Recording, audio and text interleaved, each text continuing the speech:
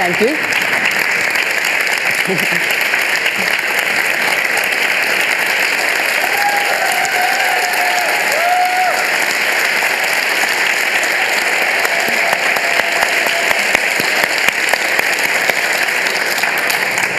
Fred, we have a logo.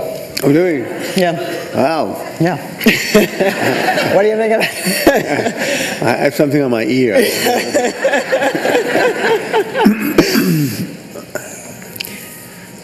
All right, so uh, a, a question that I wanted to start with off of the, the last conversation that I had with Doug Schoen and Bob Jimenez.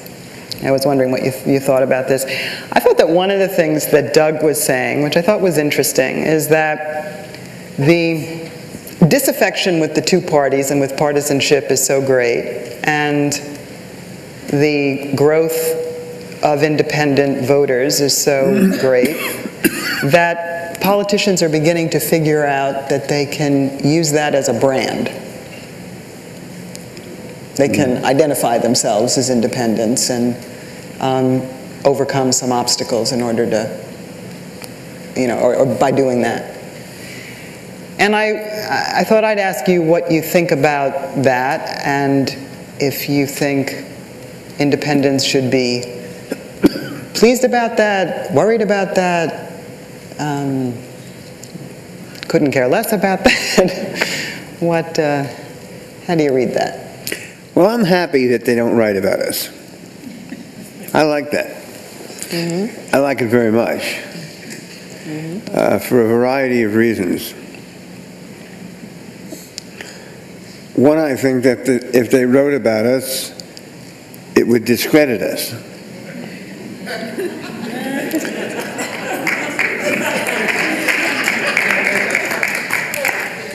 And two, since they don't write about us, I infer, with my Stanford training in logic, I infer that we're winning. Because what else could it mean? So I'm not an unbiased Sunday morning, uh, whatever, very biased, but moreover, I actually believe that we are winning. I think all the indicators show that. Uh, what we can't do at the moment is win elections. And now, hopefully, this will not shock you out of your chairs. I feel good about that too. You do, you do. I'm not into winning elections. I don't want to win elections. I want to build a movement. I want to be a part of a growing, growing force of American people who are saying, the time is coming, and we are moving time along, when we will give expression, however we see fit, hmm, to our constitutional right to give expression to what the people of the United States of America want. Right.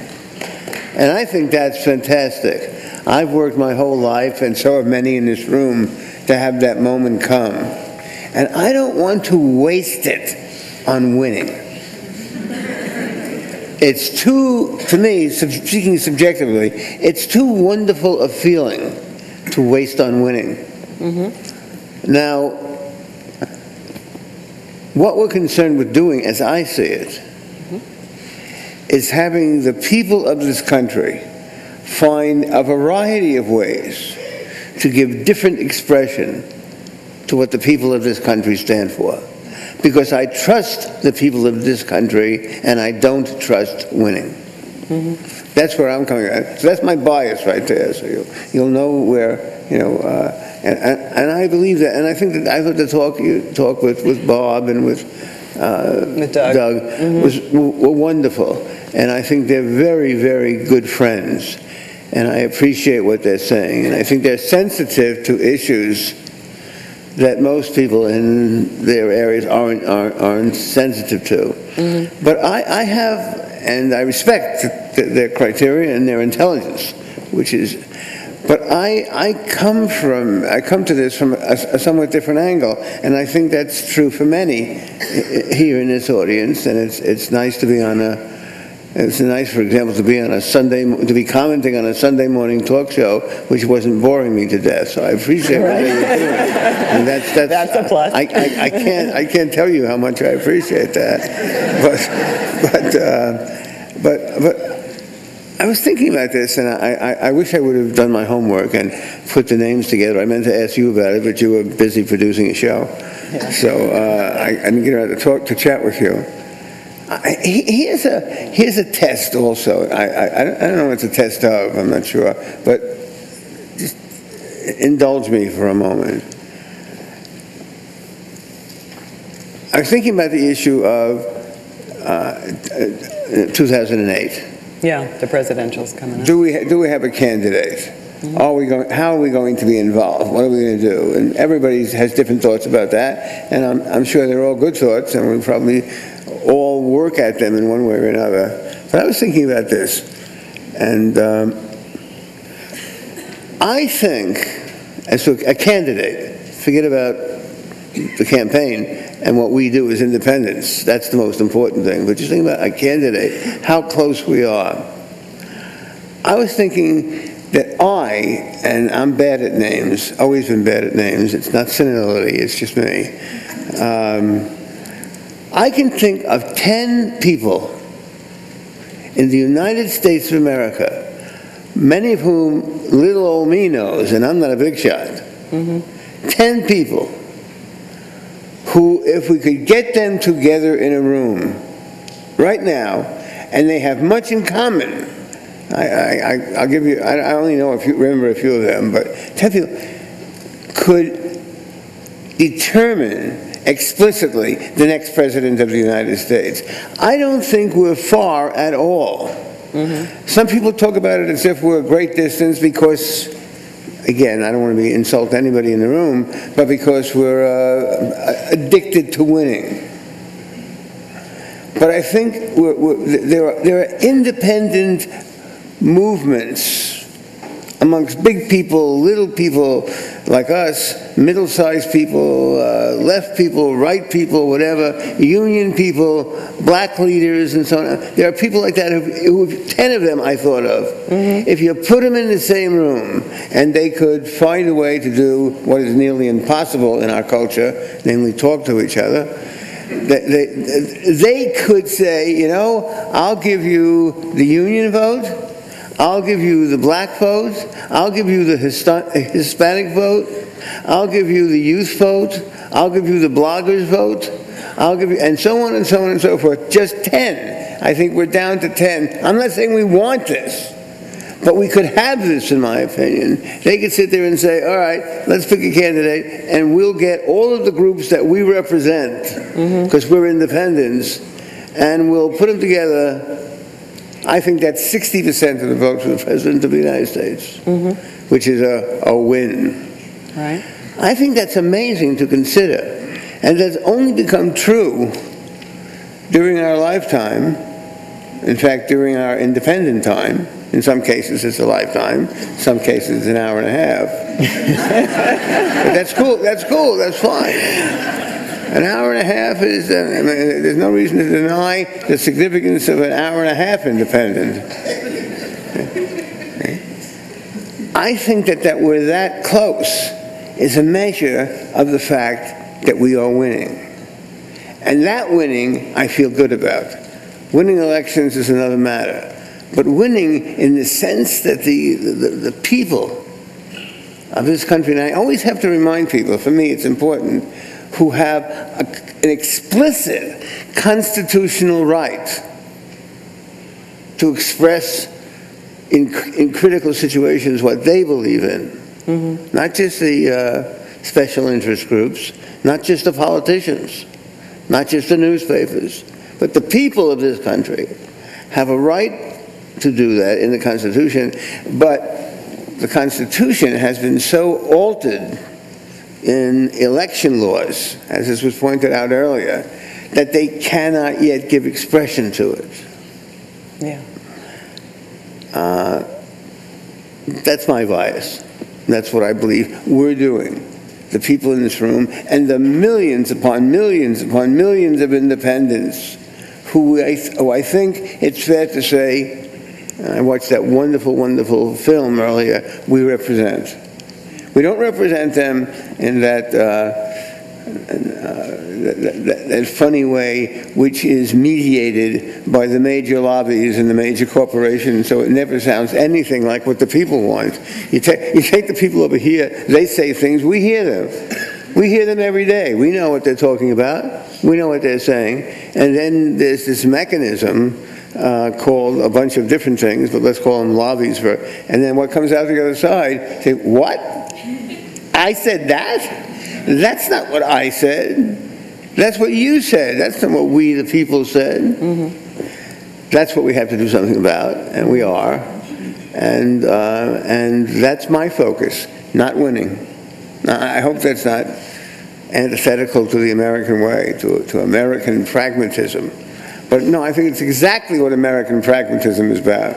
Pragmatism, and I've studied pragmatism since I, I trained in philosophy, pragmatism is about giving an undistorted expression to what people want. Mm-hmm. Not a distorted expression. Mm-hmm. That's called something else. In fact, it's called many other things.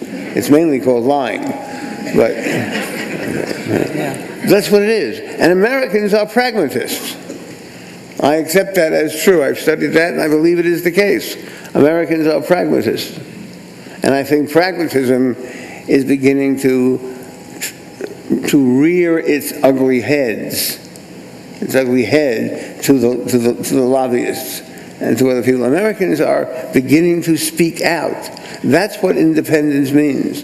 Beginning to say, we the people have to find and will find a way to speak.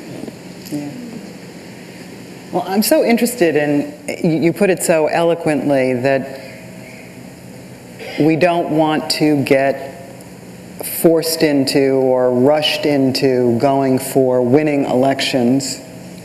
That's we want to, we, the independents, the American people who are coming together, want to set the terms of our own progress. And we don't want to get uh, distracted from that. We don't want to be forced to plug into traditional or other ways of doing politics because they're detrimental to the road that we're on.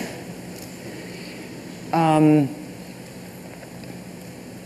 how do you teach that to people, do you think? Because I'm thinking, in, in one way, I have kind of an interesting experience with this. There, there's numbers of people who are here with us today who've run for office. They ran for office as independents. They did damn well in their elections. They, some of them got, you know, 30% of the vote, first time out. They were able to tap into something in their community. And I talked to them, and I know that part of what they're feeling is, well, gee, let me, let me go out and do this a couple more times, and maybe I can add to my coalition here locally and bring this one in, and, and, and I can win. And from that position, elected to such and such office, you know, the state legislature in Georgia or whatever, from that position, I can build this movement bigger and, and stronger. It's a seductive myth. It doesn't happen that way. And that can be understood by just plain old solid uh, methodology. You know? Mm-hmm. You don't win some things that way because you can't because something blocks you at a certain point. But it seduces people into thinking that what's important is how close they are to winning. That's not what it's about at all. Okay. Hmm? You know, there's two different kinds of growth. All of us who, who you know, we, we, we studied this somewhere or another. Maybe we didn't get it because we were not in a good school. But, um, but, but it was being taught. There were two kinds of growth there's quantitative growth and there's qualitative growth. Mm-hmm. You know, mm-hmm. and quantitative growth, which can be, a, you know, can be a valuable thing in many areas. That's very good.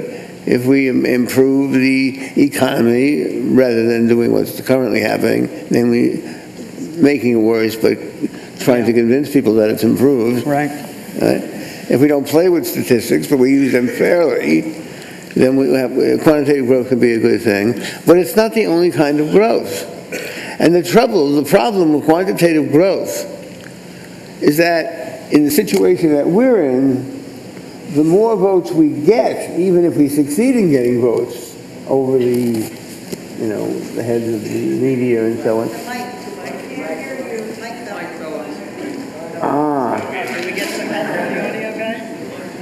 What do I do now?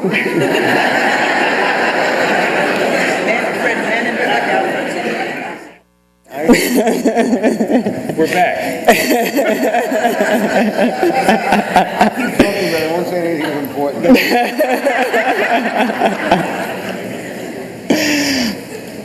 I knew my ear was not capable of. Thank you both. Okay, thank you.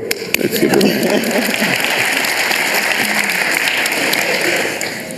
See, the, the closer we get, the more votes we get. So you get, you know, three, then you get seven, then you get 10. I'm talking about the campaigns that I've run.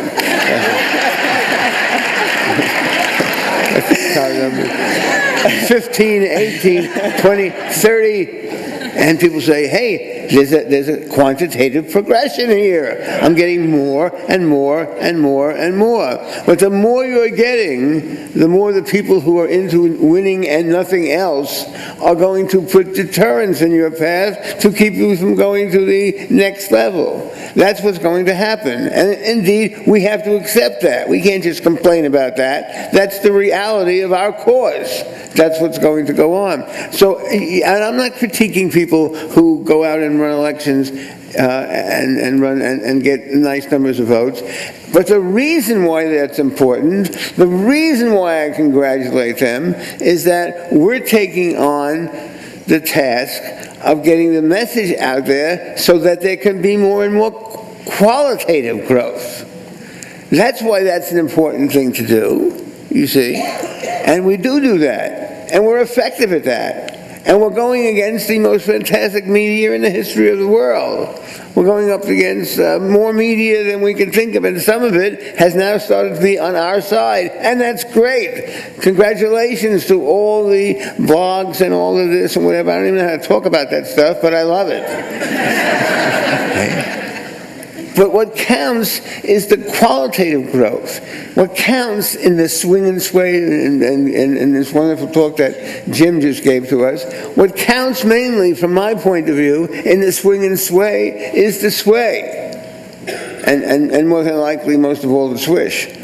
But, and, but, but that, that, that's, that's what really counts qualitatively because what we're doing is changing the environment of politics in the United States of America.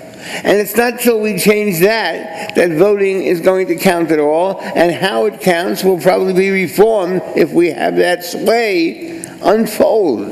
We are the swayers the people who are more and more establishing the issues. I love it. I love it. You can't, I can't tell you how happy I am. You know, when I hear the Democrats forced to say, yeah, something about with the independence.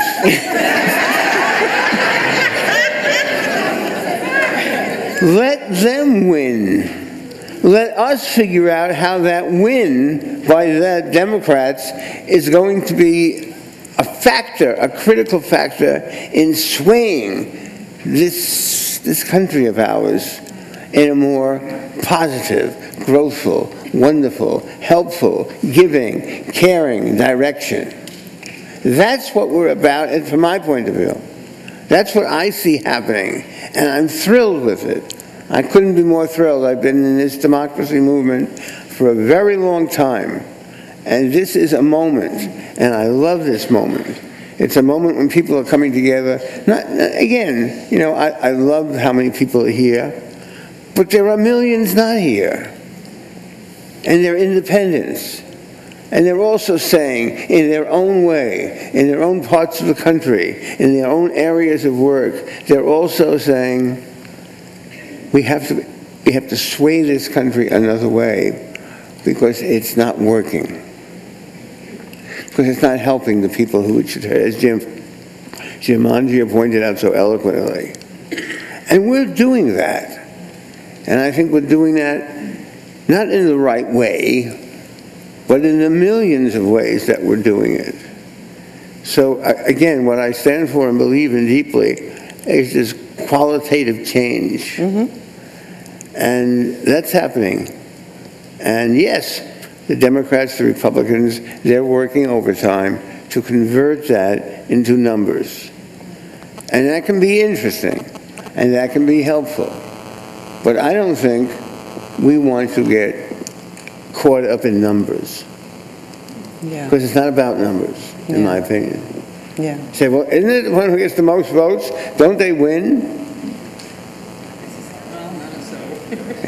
I, I don't, I, I don't know. I've seen George Bush many times lately on television, and if you tell me he won, I'll laugh at you a little bit.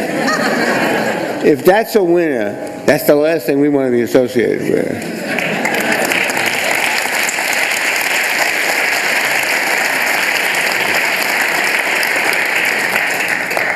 They can't affect change. They're too lobby over-determined. They're too numbers over-determined. They're too thievery over-determined to affect change. Yeah, We want to make sure that we don't get the numbers, but not have the numbers mean anything in terms of the lives of human beings in this country. yeah, I'm, I'm not, I'm not, I like numbers, I've studied numbers, and stuff, but but I'm not pro numbers. yeah. This makes me think about a uh, discussion we had in a recent Talk Talk where you made the point that in order for our democracy to work effectively, in order for our political system to be healthy, that America, America and Americans have to attend to its development consistently. And you observed in, in this conversation that that hasn't happened. And we got a, uh, an email from a Talk Talk reader in response to this discussion who asked a question that I thought I would ask you now, which was that he, he emailed in and asked what you mean by development. What's, what do you mean by political development, this thing that we need to learn how to attend to and do as a country and as a people? Well, that's a big one. I spent my whole life studying development. And, uh, uh, the, the best way I think of quickly sharing with people roughly what you mean by development, what I mean by it, as I've studied it and read some great thinkers on the issue and so on, and uh, is that development have to, has to be understood. It can be characterized positively, and if I had 10 hours, I'd give you that lecture. But, um, but the best way, I think, the, the quickest way, most succinct way is to say, development is the precise opposite of change. And people think that's mad. You know. Aren't they the same? Don't they mean the same? Aren't they even sometimes uh, spoken of in the dictionaries as the same? Yes, they are, curiously, but they're exact opposites. Change, you see, means going from here, whatever that looks like, to here. It was this way at this time, now it's different. Change, you, know, you might have different feelings about change. Uh, philosophers have talked about it for years. Heraclitus became a famous name by discussing the issue of change and so on. Development is going from here to here by way of growth. Development is growing. And we human beings, together with lots of other species, have the capacity for growth. Growth is what, in my opinion, we're looking for. That's what I was talking about before, not just change. Mm-hmm. So the Democrats, you know, coming back to politics, they say, oh, the whole world has changed, the whole world has changed. We have one more seat than they do, and the whole world has changed. yes. well, my stomach feels about the same. Remarkable. No, we're not looking for change. We're looking for continued growth. This is a species, our species, let's talk about that in particular, leave the giraffes on one side for a moment. We have the capacity for growth. Some extraordinary things have happened in the history of the world, even though sometimes we don't feel that they ever have. But there has also been growth. There have been great discoveries, not just great discoveries by the great names, so to speak, but great discoveries by each of us. We've understood some things in a different way. We've come to have that impact on how we relate to our loved ones, to our families. We can do that. I mean, I've been practicing therapy for some 30 years right now, and I, I, I love it. I love it because it sometimes helps a person not just to go from here to here, but to grow from here to here to go through a process in which they are involved and we are collectively involved and large numbers of people involved to make a, a transformation, a development, a growth, participation. And this country has gone through that. There's many things that were that were not so right about this country, were quite wrong about this country when it first began. And that's what it was. I mean, I think that's some people find that objectionable, as do I. Some people don't find it objectionable. But it wasn't the same. And then some people came together. The people of this country, in some ways, found a way to come together through abolition, women's rights movements, all the movements that we've had. And the people have developed things, even very powerful things, and even some things which we respect, using those things to go beyond those things. You know, so when the the the, uh, Um, the when, when, when the right wing is, and I respect right wingers, they have their right to their opinion, and I debate with them and so on. But when they talk about, well, I want a literal interpretation of the Constitution, well, you might want one, my friend, and I respect your right to have that opinion, but you don't have one. The Constitution that we have now and all the things about it are fundamentally different than we had in the 18th century. That's the reality. You might not think it's a good reality, but that's what we got. There is transformation, qualitative transformation, different ways of understanding. And different ways of understanding are a deep and important part of what makes us human. If we don't exercise that, well, then we could be a rock, you know. But I don't think we want to be a rock because I think we lead slightly more exciting lives than rocks. And that's not anti rock. I can almost see a sign going up already say, Newman is anti rock. no! I actually, I actually rather love rocks. I like the quietude in which they live their lives. But we're not rocks. Sorry I went on that way. I get, I get carried away. Well, well, speaking of being accused of being anti-rock, um, something I wanted to ask you about. I'm not only pro rock, I'm pro hip hop. Yeah, okay. okay. um, been wanting to ask you that, as you know, and many people uh, here at the conference know, there has been a very big fight that's played out in the Independence Party of New York over the last 18 months or so.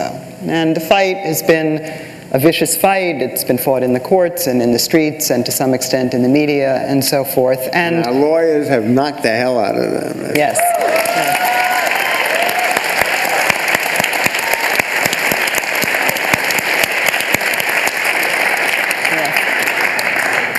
One aspect of it um, is that you and uh, Dr. Lenora Fulani were both targets of a lot of the vitriol and, and um, the nastiness of it.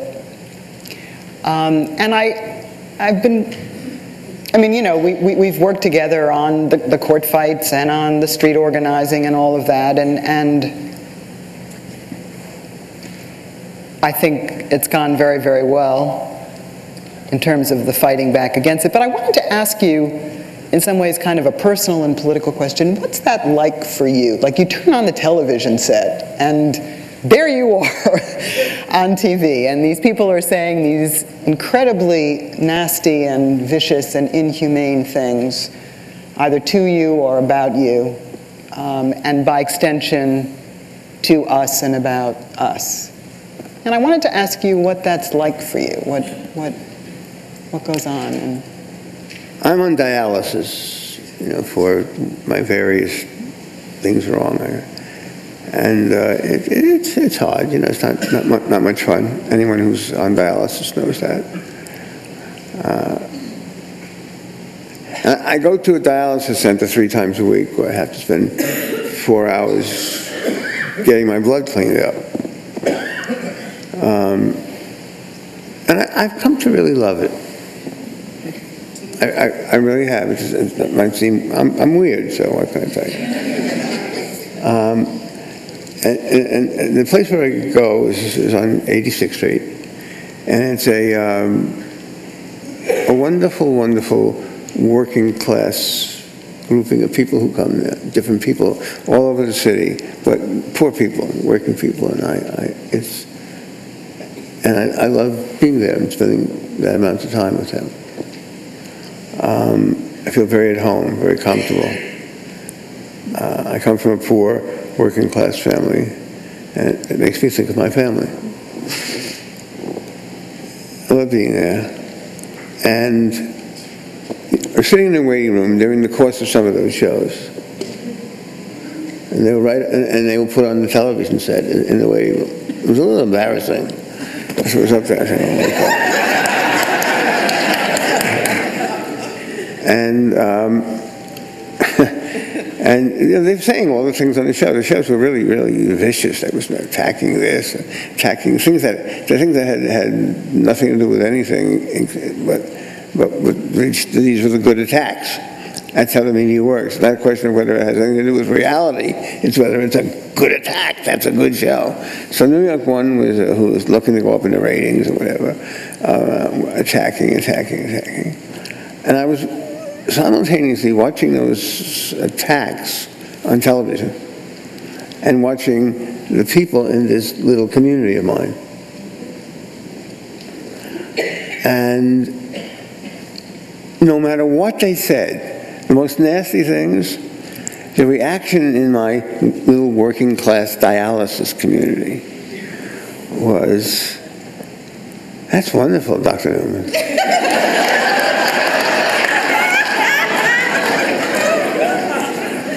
And I said, there was an insight there that, you know, that uh, I and my ego could be missing. They were saying, hey, you're on that television show. And you're talking to us on television, and that seems like a big deal. And we're proud to have you, who we know from this community here, this little dialysis community, be there. And I'm not, I'm not saying that they didn't hear a word that was said on New York One, but I'm saying they didn't hear a word they said on New York One. Yeah? And uh, I felt great about that, and I still feel great about that. I feel great that we are working hard enough, all of us together, and all of the people who across the country, the independent movement, so that I can say some things that might make a difference to some people who hardly ever get a chance to say anything. How much, how much, how little it is, is very little. But we, we, we're getting it. And our message is being heard in different ways, on different days, by different people. One more story, if I can tell it. yes, yes, One more story. yes. Many, many years ago, when I first was in, in the early stages of my involvement in the democracy movement and the independent movement, they, they, would, they didn't know who I was. So they put me on radio a little more. And I don't know how this happened, but I once got put, uh, got put on a, show, I forgot his name, no, but uh, in Florida, a radio show in Florida. Uh, and it was a big show, apparently. it was a, what what do they call it? There's some technical names for this, Jack, you know better. When people go, the, the the drive home shows. what- Yes, you the know? drive time. Drive time show. So I was on the show, and with this guy named Bob, Bob something. Bob Lassiter, maybe? Bob Lassiter, right? I was on this show, and, and back in those days, I, I was younger, uh, and I was whatever you want. I'm, you know, my, my, my talks, my talking was about the same as I'm doing now, except it was uh, spiced more with official. This was the '60s, left language. So I was, I kind of sounded like a leftist. Uh, now I'm a sort of conservative, but. Uh, Back then, I sounded like a leftist. I went on this guy's show, and he started, you know, what else? He started asking me all these questions about left politics, you know, leftists. Well, what do you think about this country and that country? And what do you think? Isn't this bad? Is this? And I said, I, I would say things like, uh, yeah, it's bad. All those bad things that so-called leftists are doing, they're terrible. They're even worse than some of the things that other people are doing. Bad. I mean, and, and, so I would have this talk thing on this drive time show with this guy. And he started asking me on more and more regularly because he had it was good ratings. He was getting good ratings. So he, he put me on there very frequently. And uh, people, you know, it was a call-in too. People would call in. And when they first started calling in, eh, you know, eh, eh, people were, ask, were asking the same kind of hostile questions that he was asking. He was sort of a nice guy, but he just thought it would be provocative to ask these questions. And, uh, but by down the road, after like, I don't know how many shows, two, three, four, five, six, seven, the opinions contained in the phone calls started to favor me more than him. And, uh, well, jump to end, they threw me off the air.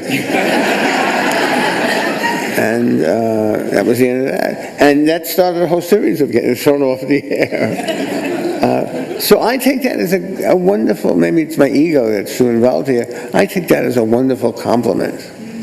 And not because I'm winning or whatever, but because when, when, when people start to, to, to listen more, even if it's a little bit quantitatively, you start to reach parts of them that don't gain expression because you don't gain expression with those parts if you want to get on the talk show.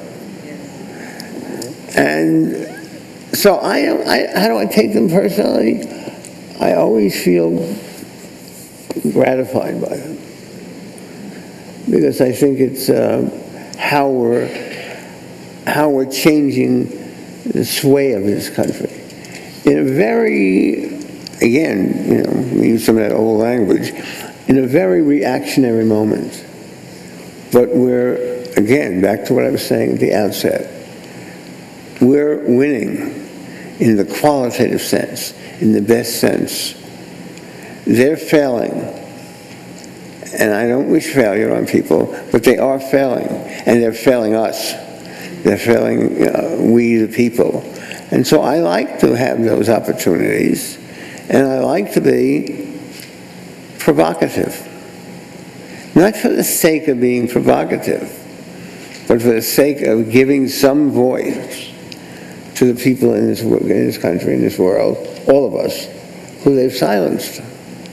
And I, I feel probably too much gratified, ego gratified by doing that. But I do love doing it. So do I feel bad when they say, no, I don't, because what I mainly see is that uh, these people are saying silly things, which in the final analysis, qualitatively, won't work because I have a whole lot of trust in people. I think the people will ultimately, I was a teacher for a long time, I think the people will ultimately get it. And I think they're getting it for this independent movement. The people of this country are getting it. I think if you took real surveys of what the U.S. government policies are all the world over, and real surveys of what the people wanted the policies of this great country to be, and I use that patriotic term because I think of myself as a patriot, you discover that what the people have to say is violently different than what is represented by our representatives, so-called. You know what was so extraordinary to me? I'll stop. You're fine. About the, about the, the anti-war movement, and I went through the Vietnam movement, as many here did, many here didn't. I know how that movement started. I know how it grew. I was at the meetings from the very beginning. This anti-war movement grew in a second relative to the anti the anti-Vietnam War movement. Something had happened. As much as they tried to negate what happened in the 60s, it really did happen. And it's had an impact on the culture of this country. And I'm very proud of that.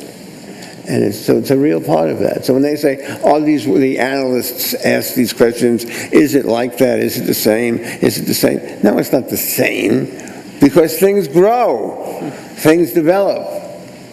Mhm. There's a change, a profound change in where this country was at before the anti-war movement and where it's at now. Little, maybe, maybe big, but developmental.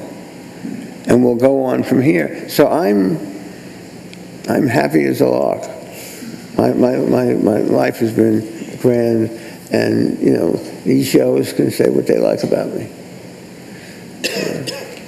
Fred, thank you so much for sharing.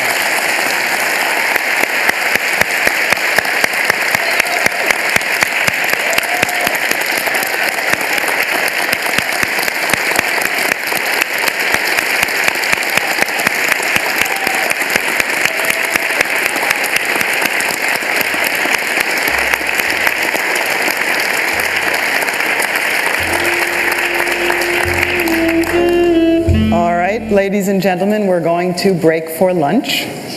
Uh, We have, I have to do some quick math here. Uh, Be back, ready to start in your seats at 1:40, 20 to 2. That should give you plenty of time, and there are lists